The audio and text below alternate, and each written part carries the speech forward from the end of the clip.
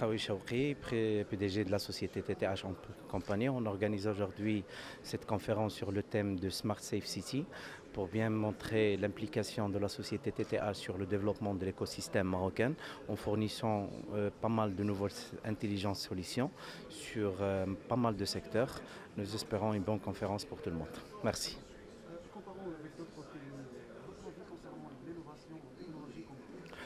Bon, on était un petit peu, à vrai dire, on était un petit peu en retard. C'est grâce à, l'implication de l'entreprise marocaine sur le développement d'écosystèmes. Mais je crois que le Maroc, on va bien démarrer, on va bien récapituler ce qu'on a déjà perdu. Merci. Donc, euh, Lotfi Benani, euh, je suis ingénieur et euh, expert senior en courant faible et IT au service de Smart City. Euh, notre intervention ici au Salon SIP 2022 et au, stand de, sponsor officiel TTH, c'est pour euh, euh, faire un, éclairage sur comment on rendre une ville intelligente et, à quoi consiste la ville intelligente et les bonnes pratiques pour rendre les villes marocaines, toutes les villes et régions au Maroc, comme des villes intelligentes. C'est ça notre, notre challenge et notre euh, valeur ajoutée au salon et à l'événement de bon, l'innovation et le R&D c'est au cœur euh, de l'événement parce que s'il n'y a pas d'innovation il n'y a pas de technologie. Donc c'est pour cela que l'innovation joue un rôle primordial pour la digitalisation de tous les services de la ville à savoir et, au, profit de, des citoyens marocains. Il faut qu'il avoir des données sans se déplacer et ça, ça intelligente pour économiser aussi les gasoils parce que c'est un facteur essentiel de la vie et aussi pour économiser du temps et, et, avoir pas d'embouteillage la ville. C'est-à-dire si on, fait la digitalisation qui rentre dans le domaine d'innovation, on n'aura pas à avoir une, euh, une ville intelligente. C'est ça notre rôle et notre challenge, c'est faire donner une expertise à la ville pour qu'elle soit, euh. Aujourd'hui, on se réjouit d'être euh, présent ici dans un grand salon après une longue période d'abstinence due à la crise sanitaire.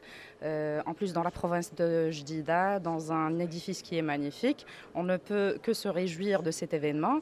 le thème de la conférence d'aujourd'hui concernant les villes durables et les villes intelligentes aussi, je suis là pour représenter le Centre régional d'investissement de Casablanca-Stade et aussi l'administration publique et pour parler de la contribution euh, du CRI dans l'émergence de, ces villes. Euh, ben, écoutez, euh, il faut savoir, il faut avouer qu'il y a eu beaucoup d'avancées concernant l'émergence des jeunes, l'émergence des start-up, l'effort des acteurs publics est là, euh, des acteurs privés aussi. Il y a plusieurs initiatives qui se font dans ce sens. Euh, il y a des, euh, des, hackathons qui sont organisés. je pense que la prise de conscience par rapport à la notion de ville intelligente est déjà assez ancrée, en tout cas surtout pour nous à Casablanca, puisque le Smart City Expo est organisé dans la ville chaque année depuis, depuis des années déjà. il y a plusieurs avancées qui ont été réalisées en la matière et le chemin euh, ne fait que commencer. Il y a du, chemin à parcourir et l'administration publique est là pour accompagner cet élan pour euh, que ce soit une, réussite. Euh, je pense que la ville durable, c'est vraiment le problème principal, le nerf de la guerre aujourd'hui.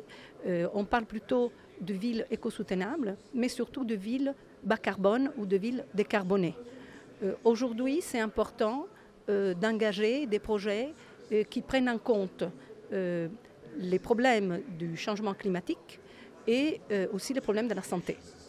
Changement climatique, ça mène le réchauffement climatique et donc des catastrophes naturelles. Il faut à tout prix les éviter en utilisant des matériaux biomasse, en construisant sans polluer, en construisant moins et, et moins dense et en construisant plus avec euh, la nature, euh, les arbres et les espaces verts. Et puis euh, la santé, c'est effectivement dû aussi à une autre chose, c'est les transports et l'industrie. Et les transports polluent énormément, beaucoup de particules fines et donc le dioxyde de carbone qui euh, provoque aussi la mort. Et euh, l'année dernière, il y a eu plus de 200 000 morts dans l'Union européenne à cause justement euh, de la pollution. Donc il faut penser de plus en plus à la question de la ville éco-soutenable ou durable, comme on veut, une ville qui doit être léguée à ceux qui viendront demain. Alors aujourd'hui, j'aurai le plaisir de présenter l'expérience de l'écocité Znata, la première ville durable en Afrique et au Maroc. Euh, comment est-ce qu'on a pu euh, justement démontrer euh, qu'avec une bonne intégration des aspects de développement durable dès la conception, on arrive à, sortir du lot et on arrive à être compétitif et à préparer les villes de demain. Nous sommes là, en fait, on a organisé une conférence sous le thème Smart and Safe Cities et on a eu la chance d'avoir un panel très très intéressant euh, notamment la SADV, la SAS, le CRI de Casablanca Estas, une experte internationale euh, qui est architecte et urbaniste euh, de, Paris-Sorbonne. Et nous avons aussi un expert en, Smart City.